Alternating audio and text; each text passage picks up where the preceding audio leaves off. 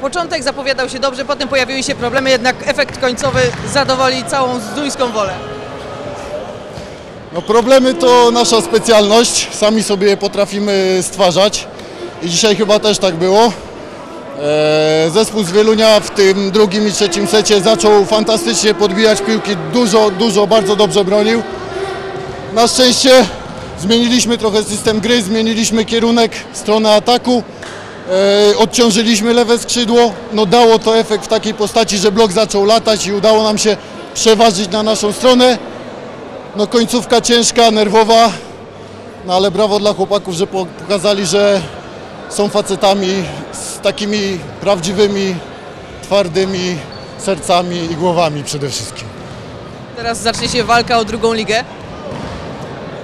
No tak, awans mamy, będziemy grać w jednym z turniejów, jeszcze nie wiemy czy z pierwszego, czy z drugiego miejsca.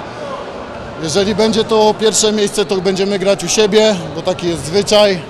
No bardzo bym sobie tego życzył i mam nadzieję, że kibice z Duńskiej Woli popatrzą na to, co się dzieje w Sieradzu i spróbują może nie, nie tyle, że przebić, ale dorównać. A kibice z Sieradza, jeżeli są prawdziwymi kibicami siatkówki, to bardzo serdecznie zapraszam je, ich na mecze do Zduńskiej Woli.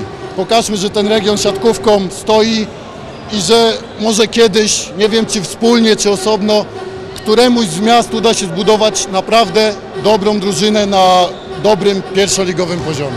Przed nami jeszcze mecz Sieradz-Rozprzak. Komu będzie kibicować Zduńska Wola? Zduńska Wola tej, w tej chwili będzie świętować, nie wiem czy w ogóle będziemy oglądać ten mecz. Eee, no co, no ja jestem z Sieradza, lokalnie powiem, że ja osobiście będę kibicował, kibicował Sieradzowi.